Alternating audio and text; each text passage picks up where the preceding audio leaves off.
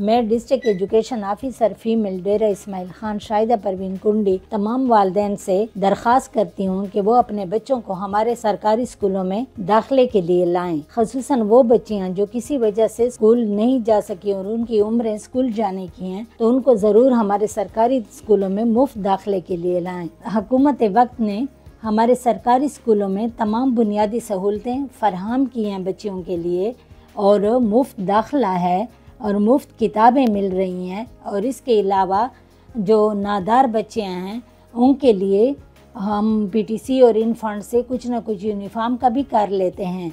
तो आप अपनी बच्चियों को ज़रूर सरकारी स्कूलों में दाखिला दिलाएँ, क्योंकि एक बच्ची को तालीम याफ्ता बनाना, पूरे ख़ानदान को तालीम याफ्ता बनाने के मुतरदफ़ है। जब ये बच्ची आगे चलकर माँ बनेगी तो वो एक तालीम याफ्ता माँ होगी। हमारे सरकारी स्कूलों में आला तालीम याफ्ता और तरबियत याफ्ता इस मौजूद हैं, जो आपकी बच्चियों को तालीम याफ्ता बनाने के साथ साथ उनकी अच्छी तरबियत भी करेंगी।